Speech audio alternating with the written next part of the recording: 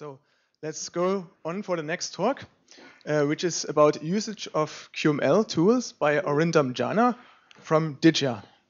Welcome on stage, Aurindam.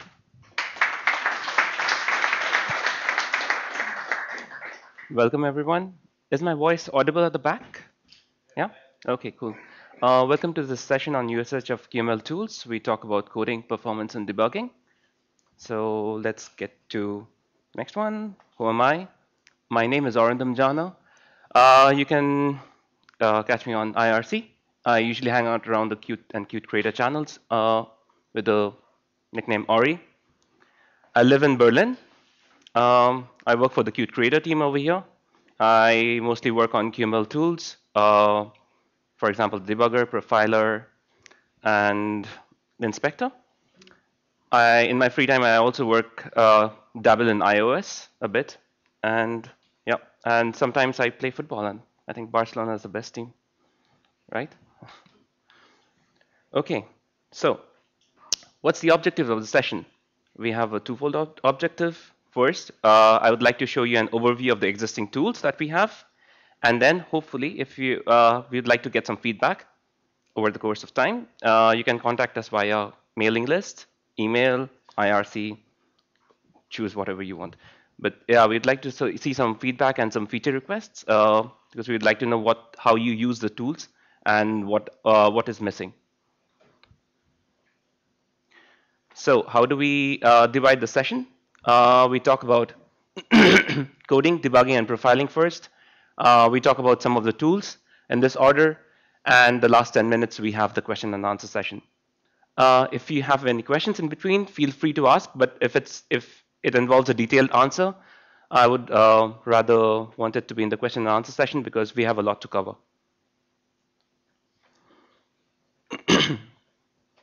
so quick poll. How many of you use Qt Creator for Qt Quick application development? That's a fairly good number. Uh, so uh, I think most of the tools probably you already know about it. So I have some demos. I will not exactly show how to use the tools, but I'll rather show uh, some some use cases uh, where you can probably maybe you use it already, but yeah, you, you will see as as I demo them.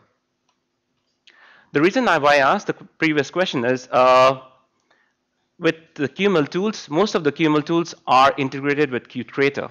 We do have some command line tools, uh, but for serious Qt Qt Quick application development, you really need to consider Qt Creator as your IDE. At least give it a try. So for the demos, I'm going to use Qt, Creator 2.6.0. Uh, and I'm going to use Qt Quick 1 and Qt Quick 2. In most cases, uh, there is no difference between uh, with, with, respect to the usage of tools, right? If there are deviations, I have marked them with this black asterisk, and I will explain what are the deviations. So let's get on to coding. So the first thing that we discuss is the QML.js editor, which is there in the Qt Creator. Why use the editor? Simply because it understands the QML code model. But what does that mean? That means you can code faster. How? You have code navigation, you have auto completion, you have Qt Quick toolbars, something like this. So let's say you have an image and you want to change some properties, you just have this small little light bulb that uh, comes up, click on it, and you can modify properties. It has syntax, uh, syntax check, so it pretty much shows when you while you are typing these red uh, wavy underline or green uh, wavy underlines. Uh, you can refactor code, uh, easy to maintain code, and of course it has semantic highlighting, so it's easy to read. The next thing that we have for our coding is the Qt Quick Designer. Uh, the Qt Quick Designer is very easy to, it, it helps you to prototype your Qt Quick applications quite easily. And, and the best part is that you do not even need to know QML coding. It's a, basically a drag and drop feature. So you have your uh, component library, just drag and drop. It automatically resizes. It pretty much works the same way that the Qt uh, designer works. Plus, on top of that, you have visual feedback. So it's easy to see how your applications, uh, it's easy to see the GUI, right? As, uh, as you develop your applications. Uh, currently, we have uh, support for QtQuick 1 Uh, support for Qt Quick 2 is ongoing, and let's see. Uh, hopefully, it comes out in very soon. So I will now quickly show you some demos.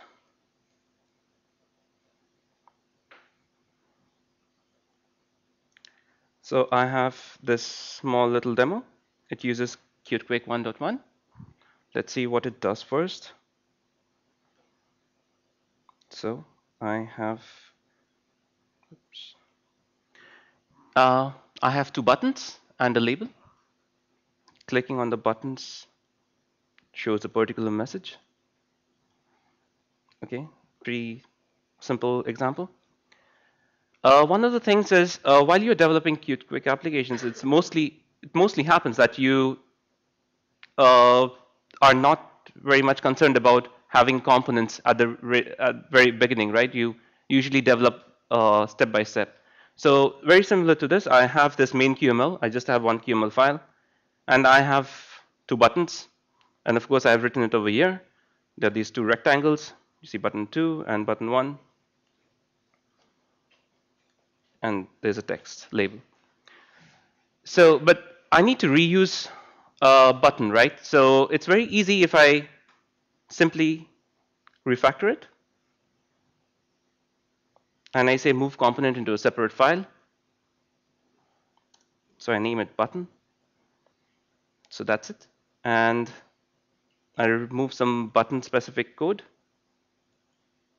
into here. And I click button, make this button. I do not need this anymore. Keep the button specific code here. And I'm done. So it's it's pretty easy to move do uh, things like refactoring, right? So now you have a button uh, component, and you can reuse it in other um, in your rest of your code. So that that's one refactoring feature that's pretty good to use. The other thing that I want to show you is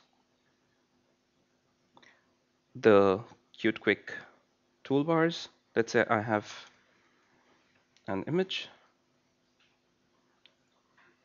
And when I put my cursor right next to the image, this light bulb comes up. Let's see what it does. So you have a Qt Quick toolbar. You can select, from here you can select an image for this uh, element. I do not have any images, so I cannot show you right now. But yeah, I just wanted to show you the cute, Qt Quick toolbars. One more thing that I find uh, often useful while I'm coding is, I'm not sure if you can see, but there is a locator bar over here, right down there. So let's see. So you have button QML. Let's see some function. Mm.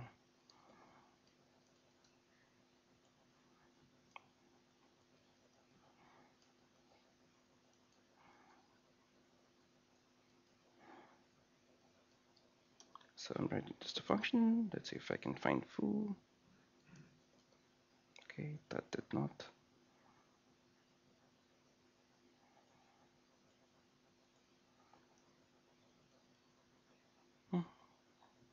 Okay, some things.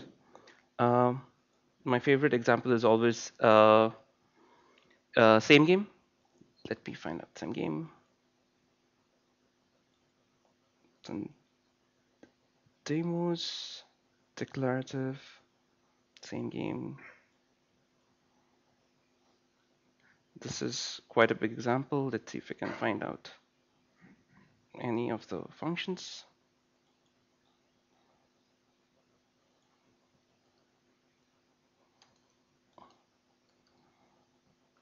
Something like this. So it's it's it pretty much lists view all the functions in the example. So yeah, so code navigation is pretty easy using using the IDE.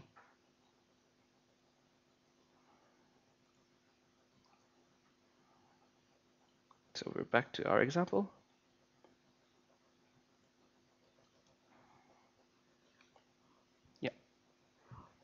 Uh, you basically have to put an M in front uh, for methods to find out functions. That's the only thing. Let's go back to our presentation. So these are the two things we have from the coding perspective. Any questions?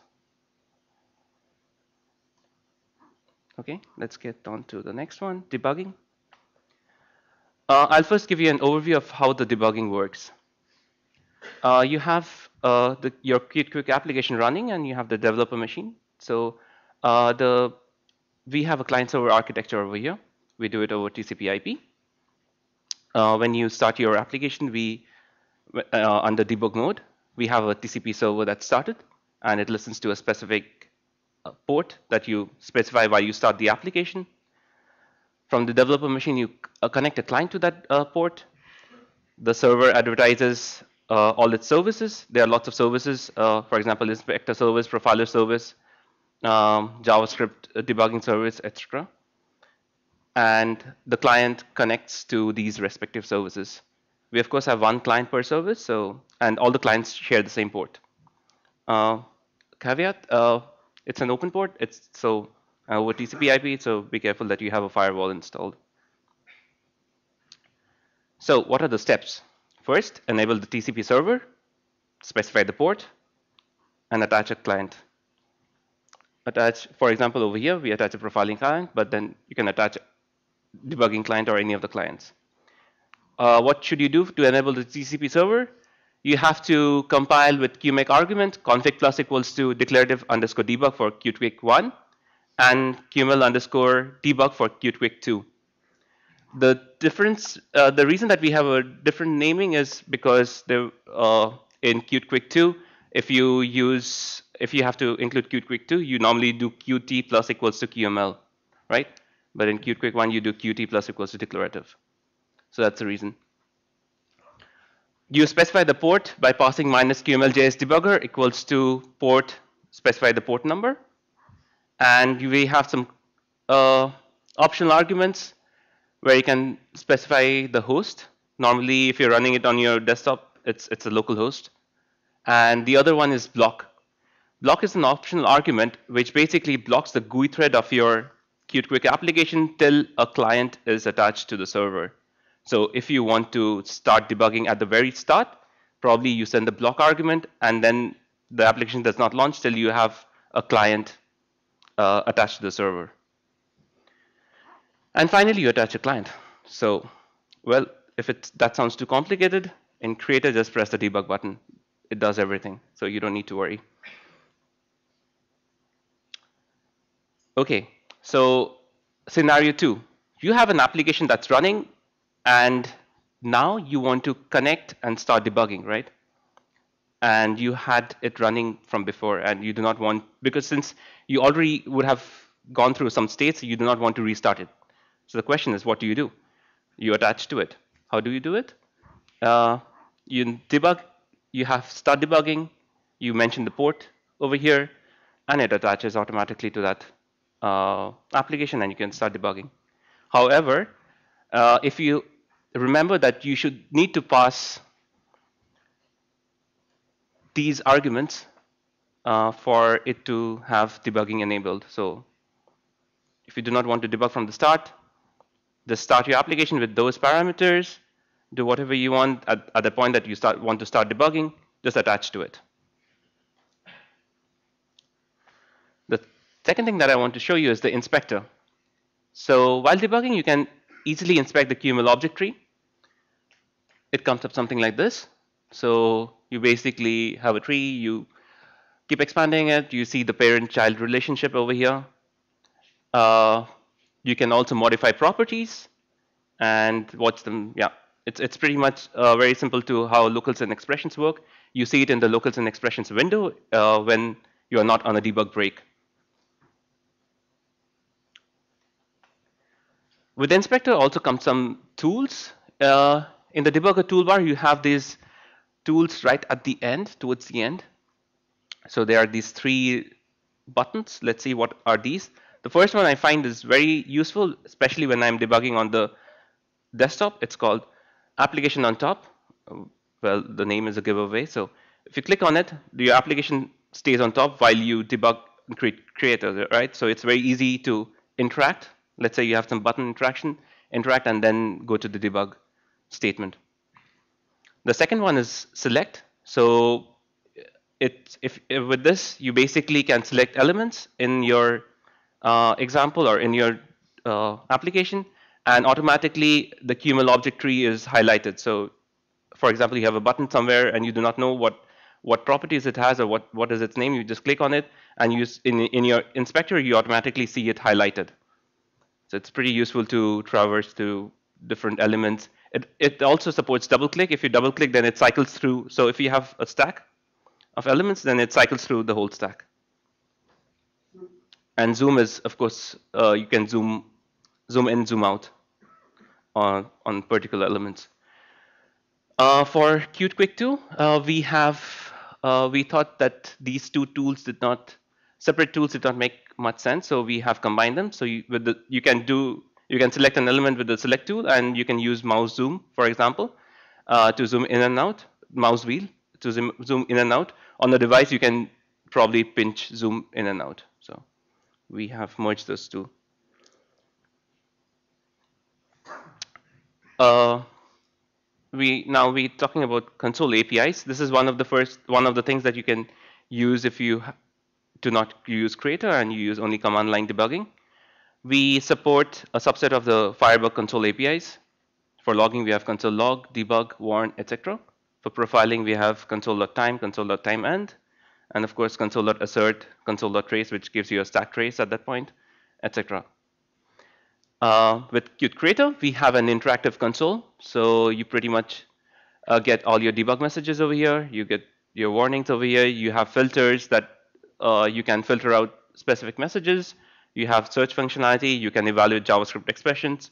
You have a context under which uh, the expressions are evaluated.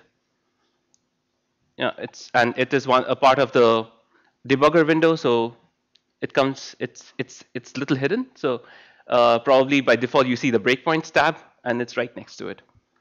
Uh, in the next version, we are planning to move it to the application output pane, so it's much more easier to see and you can and easy to use. Yes.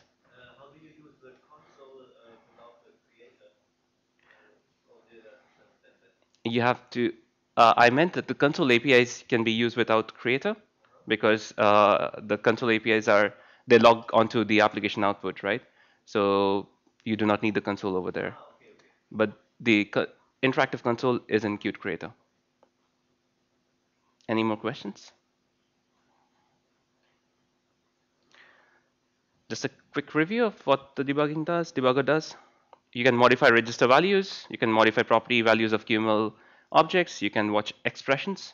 You can evaluate JavaScript expressions. You can break on JavaScript exceptions. And you can use the select zoom functionality. So time for a quick demo.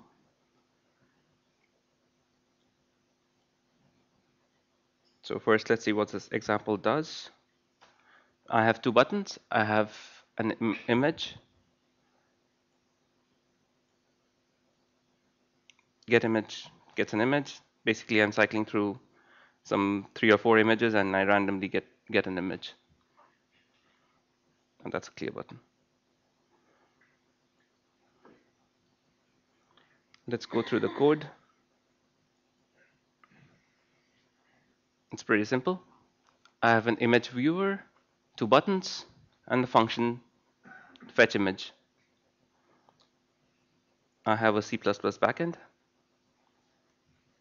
which basically returns me one of the uh, images from the database randomly. So let us debug.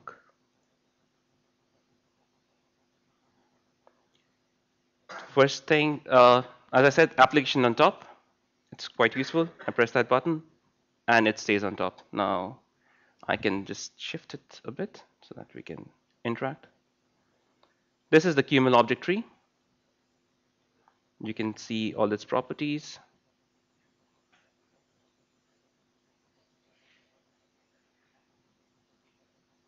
So let's see the fetch point.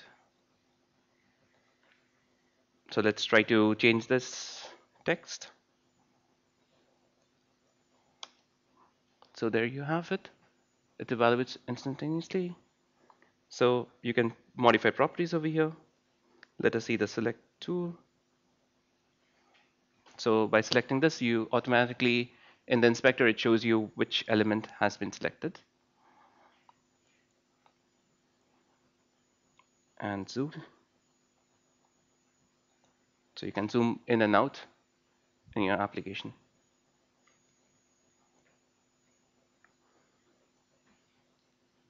So let's put a breakpoint. So I have a breakpoint over here in the fetch image.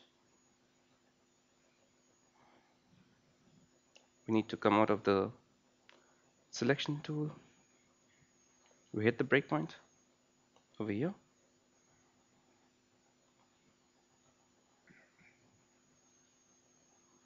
We can modify local variables. So that.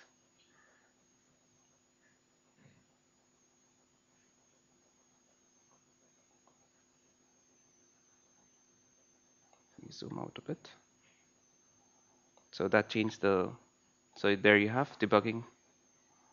Now, we also support mixed debugging in the sense that you have to, if we have a C++ backend, we can also put breakpoints in the C++ backend and debug that. Let's see how we do that. Database.image source basically calls this function. So putting a breakpoint over here. Need to go out of this zoom tool. So there you have it. We hit the C++ backend. We can go through the stack. And then when you continue, you hit the QML breakpoint. Yes.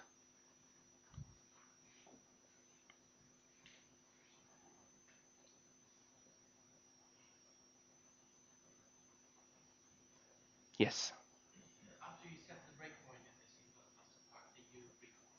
No.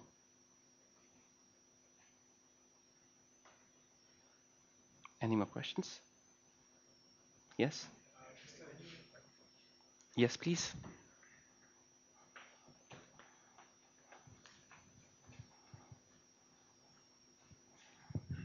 Uh, can you also uh, in, uh, use a, a C++ backend which was compiled with uh, Visual Studio? As long as the debug symbols are there, yes. Uh -huh. Oh, cool.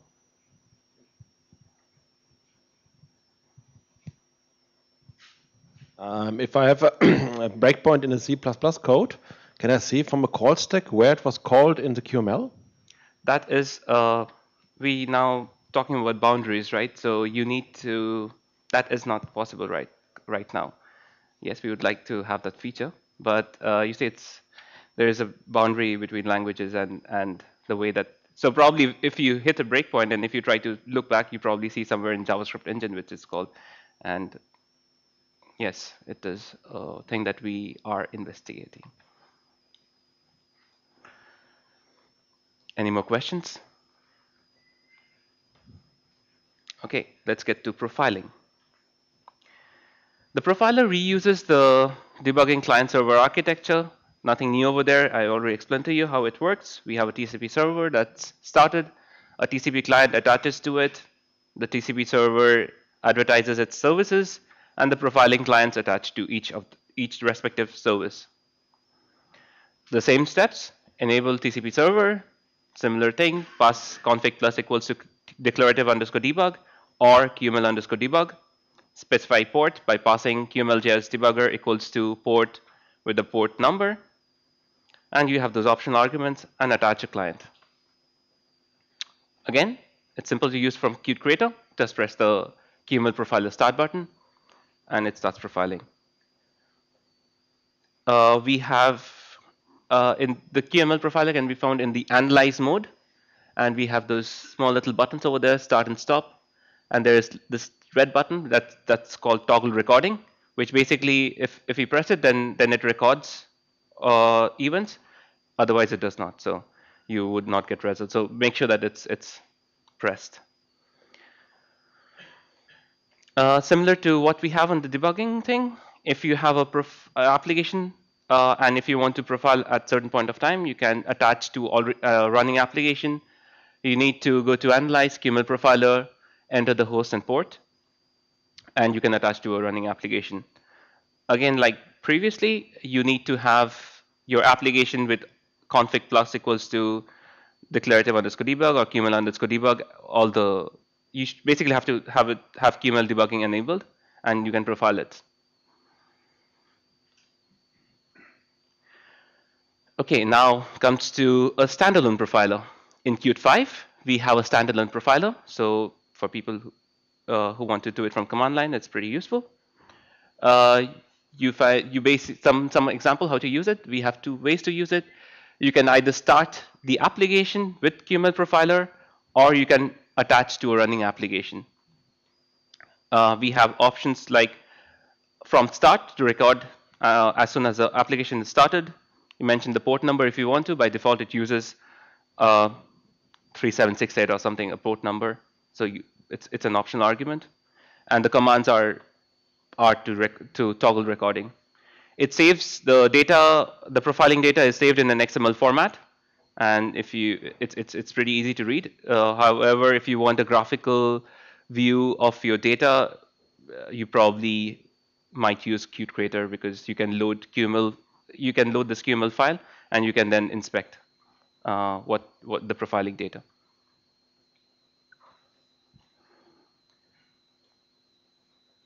So profiling salient features. You can see an overview of events in a timeline you can zoom in, or, in and out of the timeline view so that you can see, you can specify uh, in a particular period or see a particular event.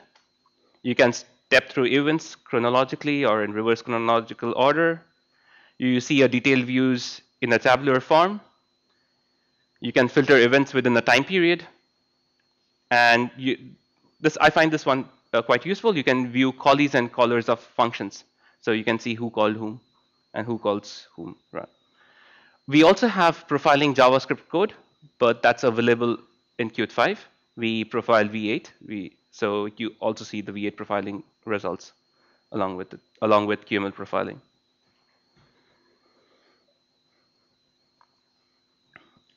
Um, I'm going to show you two particular use cases of the profiler.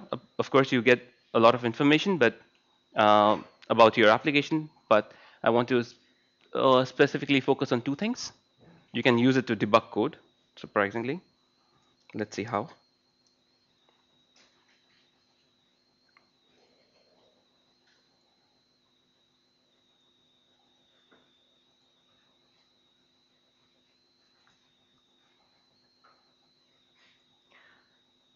So let's see what the application does first. It's a very simple application. We have a red rectangle on the left and a label on the right which says box on left. I click the button, it animates and say it goes to the right and then the label changes box on the right.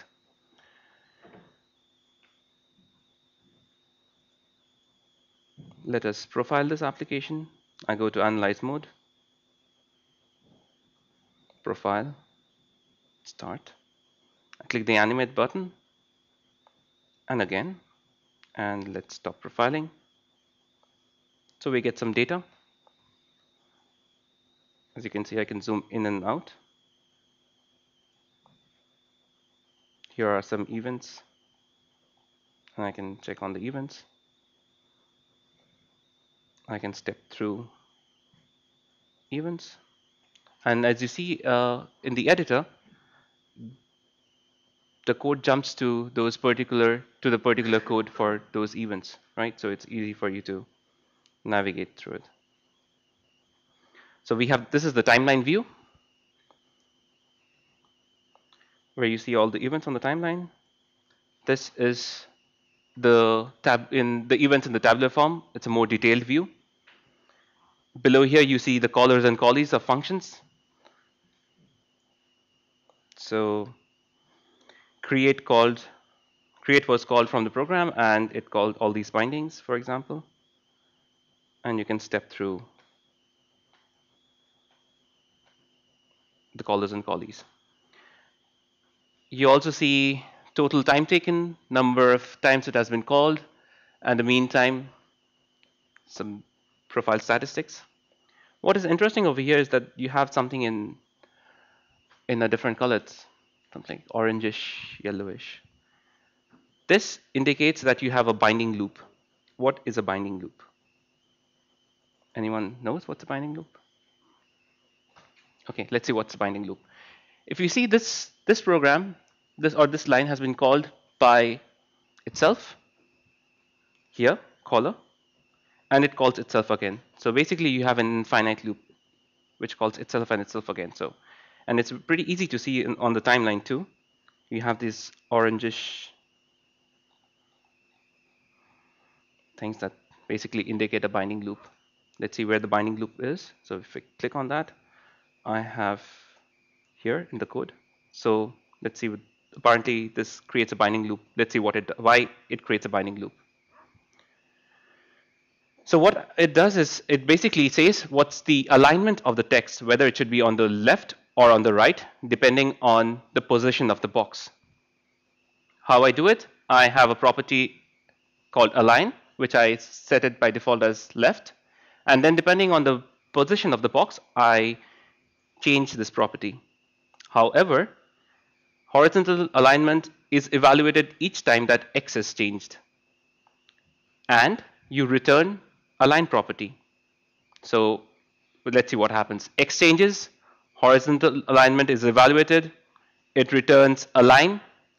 Align is horizontal alignment itself, so it calls back itself again. So that's that's why a loop is created.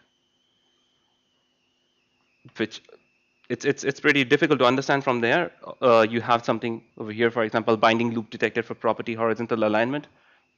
It's it's a little unclear what it means. So how do we remove it? We do not use this property align. Instead,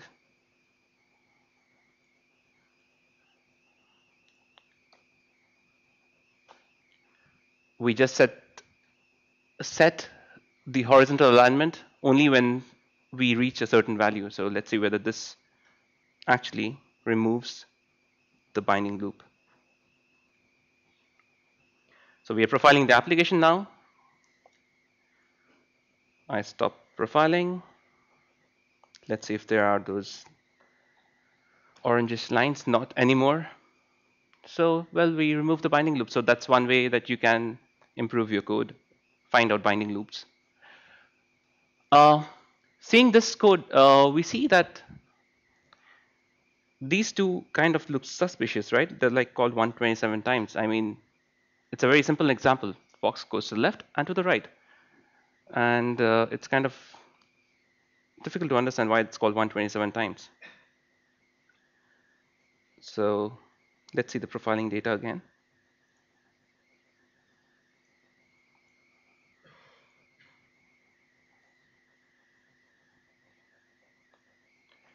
What you see above are paint events, and what you see over here are binding evaluations. You see that for every almost every paint event, there is a binding evaluation that's done, which does not seem correct, right? The I set the text, or rather, I want the text to be visible only at the end. In between, the text should disappear. So when the box is at the left, then the text should appear. So that's one evaluation. And when the box is at the other end, the text should appear. So that's another evaluation. So something something's fishy over here. We have too many calls over here. And over here, uh, in this example, of course, it, it's not much of a performance hit. But if this particular function would have done some heavy uh, stuff, then you would have suffered a performance hit.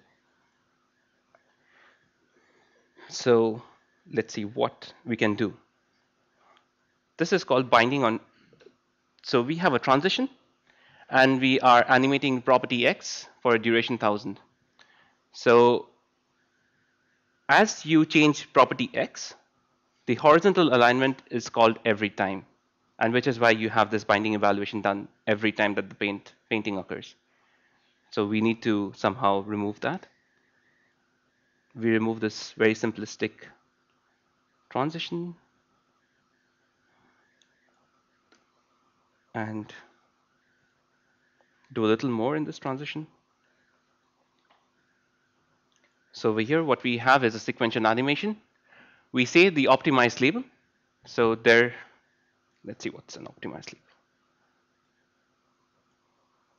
So this is a non-optimized label where we set the horizontal alignment and the text.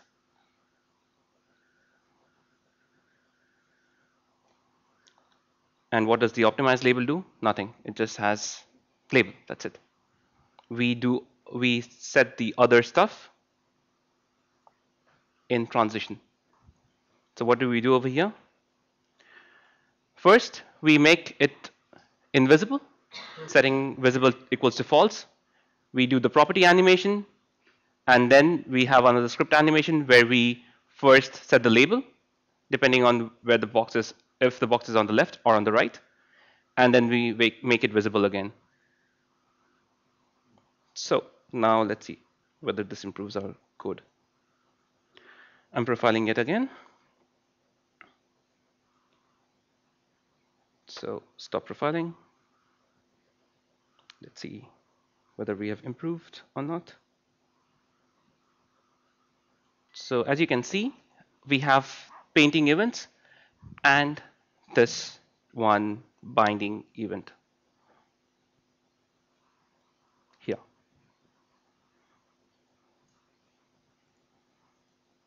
Let's say in the events thing, which is much more clearer.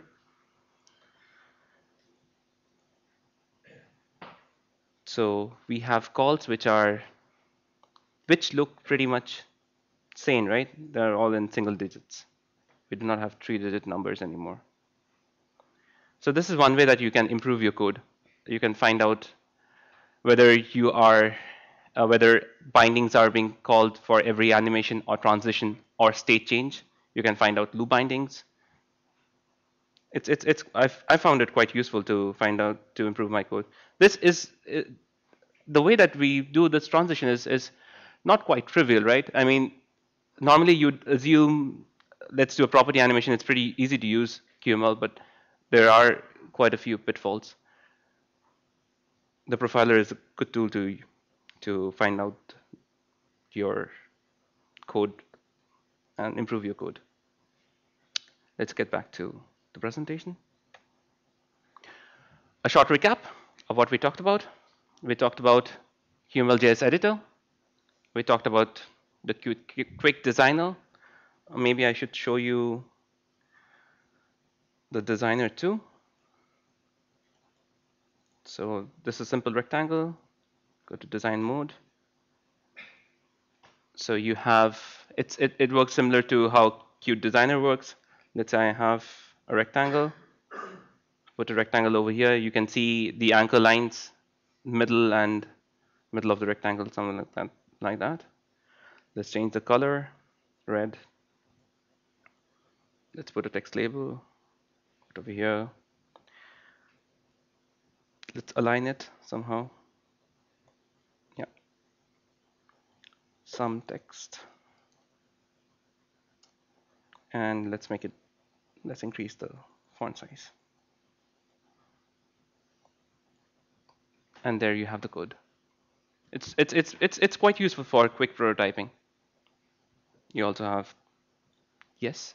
Is it also practical to use for bigger projects when you're far into the project and, and still want to design the designer? Is that practical to do, or is it only useful for prototyping? I'll repeat the question. The question is uh, if the Qt Quick Designer is practical for larger projects.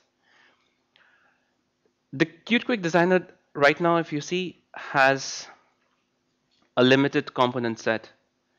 So you may have to rewrite a lot of components. So there is a little bit of coding involved.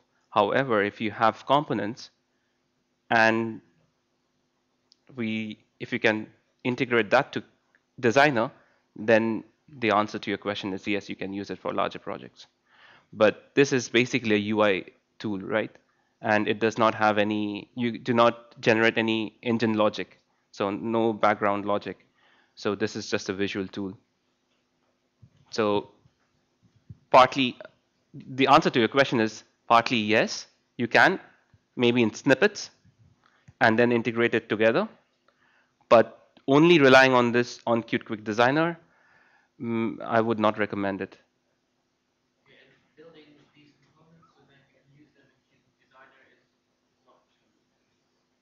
Uh, it's I think most most people who develop large applications have their own component set anyways.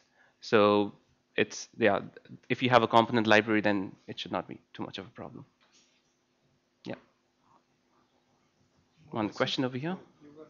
Okay. Um, a, comment, a comment on that, on the question. I found out that the problem with the designer is that you, uh, if you put um, an item in there, it has absolute coordinates and absolute width and height, which makes it very, very problematic if you change the size of the whole window.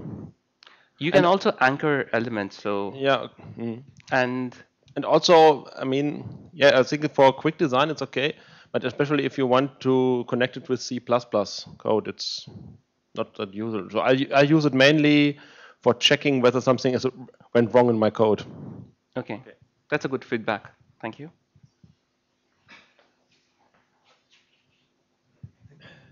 Yeah, would be the same direction. Um, in practice, um, you see there that it's centered somehow. But in practice, you would say one third of the width. It's the same issue with, with the absolute coordinates. And in, in bigger applications, for sure, there is no absolute coordinates given because then you end up with, with a very static uh, layout. And there's no way, or I didn't figure out how to use a relative layout there. So say one third of the of, of the heights, and that's really limiting using, especially for me. Um, Which is why I mentioned that it's Yeah. good for quick Yeah. prototyping. It's the problem is when it comes for larger applications, then you need very specific UI layouts. And uh, if you had already attended Jens, Jens talk yesterday, we do not have a proper layout manager yet. So this uh, in Qt Quick, it's kind of little difficult to do that. So yes, it involves a little bit of manual work till we have a layout manager that does it. Okay, but if, if you um, if you if you um, uh, set the the um, uh, relative properties in in the source code and go back to the designer, will it destroy that? Uh, No. No. Okay. So, So basically, it's it just it's uh, it just creates code. So it just shows what is there on the QML file, and then so you can probably set your elements, and then you can go to your source code and change it. It works fine.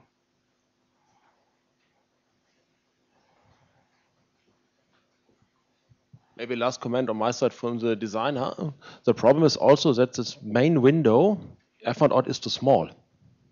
Because especially if you work with uh, larger resolutions like um, HD or something, you can never you can never put the whole picture readable in there. So it would be nice to have to put make this main window as a separate window, to put it on a second monitor or something. So as a recommendation.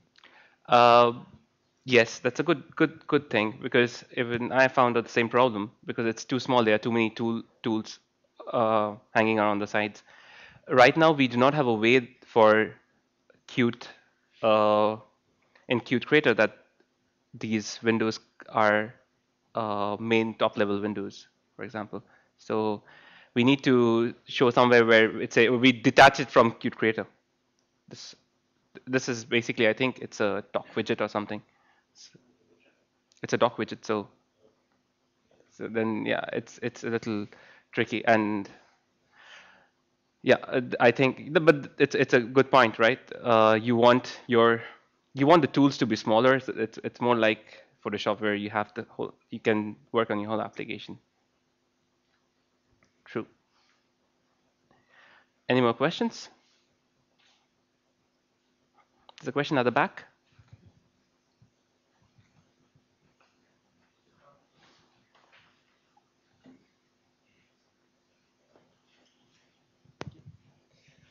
Uh, is uh, the designer also existing for Visual Studio add-ins? No, Is it planned? um, I do not. I'm not aware of any plans. Okay. And uh, another question regarding measurements with Profiler. Is there uh, the examples you, you have showed is uh, with QtQuick 2, right? No, Qt Quick One. Okay, so with QtQuick 2, we cannot see any paint events anymore, or ca- we cannot see how many time is needed to paint this. Uh, in Qt, Qt Quick 2, instead of the paint events, you see, uh, you see animation events over there. So let's see in the timeline. Here, instead of painting, you, these are animation events that you see. So you do see, see data. Is there any possibility to measure the time which is needed to draw the screen? which is uh, under process. Yes, we are doing. We are. It's difficult to find out exactly what time, but we are kind of trying to find out how much time does it take, for example, to load a PixMap. So something like that would be useful, I think, and uh, we are working on that. So it's it's it's still we are still adding features to it. We have a JavaScript tab over here just to show you what it so you have some sort of data. Uh, not much uh, for a Qt Quick 1 application but uh, it's quite detailed when you have a Qt Quick 2 application running because we get the V8 profiler data over here.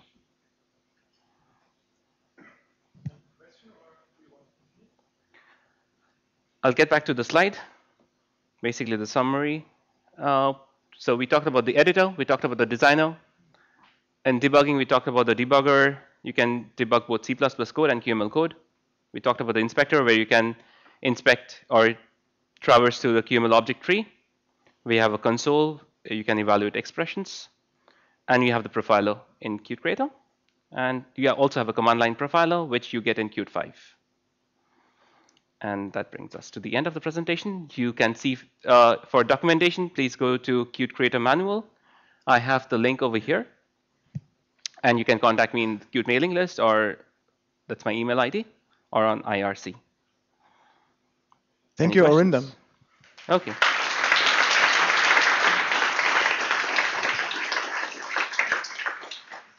Any more questions? Yeah, regarding the point that came up before that the main window is too small and that you could detach it in an own widget. I think that would also be great for using and the whole Qt Creator, so then you could use it for multiple monitors as well, because We- that's right, ni- right now pretty not possible at all. We had this discussion a little while ago in office, and we are thinking of having multiple monitor support. So we, it's, it's, but it's it's it takes some time, right? So we need to find out what works and what doesn't. So yes, Okay. thank you for your feedback. Uh, for people who want to delve a little bit into uh, debugging and profiling, I have some troubleshooting slides. In case uh, you're wondering why debug doesn't work, then maybe you may have, what I'm showing are all default settings. So maybe if you have changed any of these default settings, then uh, probably debugging doesn't work and you need to find out why. So in projects mode, in build and run, under build settings, you have this tiny thing called enable QML debugging. It's enabled by default. So in case debugging does not work, check whether this checkbox is ticked or not. Similarly, if debugging does not work, check in run settings. So you have build settings and run settings. In run settings, check whether uh, you have deb uh, QML debugging enabled by over here. And if you have problems seeing the inspector tree or object tree, we have that in debugger options. Uh, there is a checkbox that says show QML object tree. That by default it's checked. So in case you have problems and you're wondering, probably this, you just check, go through these. That's all from me. Questions? More questions?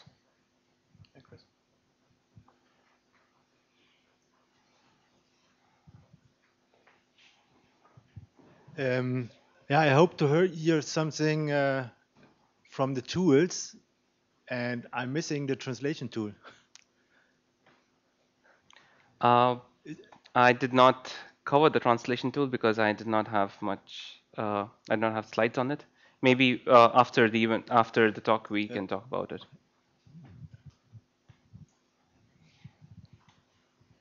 Any, Any more more questions?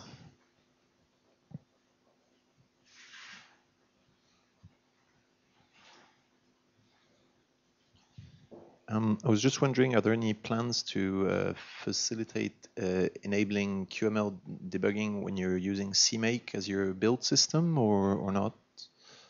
Good question. I was expecting this one. With CMake, uh, what you have to do is instead of config plus equals to declarative underscore debug, you pass the you basically set this define qt underscore declarative underscore debug in cap all in capital letters. If you set that, debugging is enabled. For Qt Quick 1, for Qt Quick 2, it is qt underscore qml underscore debug. Again, all in caps. So set that and you're good to go.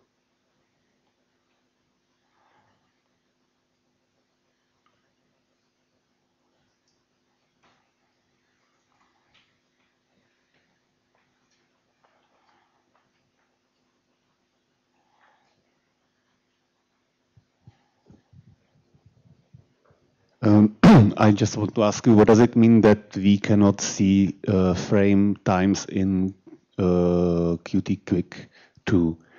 Does it mean that uh, rendering engine doesn't expose this time, or we have the OpenGL which does it. So uh, I'm and we always aim for 60 FPS. I'm not really sure how it works, but I I do not think we get that data. So basically, what we do is we give the data to a renderer thread, and then it renders. And uh, we do not have hooks yet on to see how that performs. For example, if you have a hardware if you haven't uh, if you have a proper OpenGL support, probably it works fine. But if you have a software uh, rendering done, then uh, yeah, I mean it's it's it's something that we have not yet uh, dealt with simply because we do not know how to deal with it. Okay? So we expect that the GPU unit is uh, capable enough. Yes, Uh, Thank it's, you. It's a it's an assumption, but it's difficult to know. If we have a specific target device, then we can put in hooks. But for a generic generic profiling, it's kind of difficult to understand how to do it.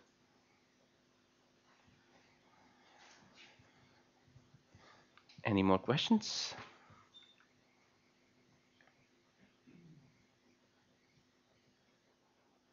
No questions anymore? Last chance?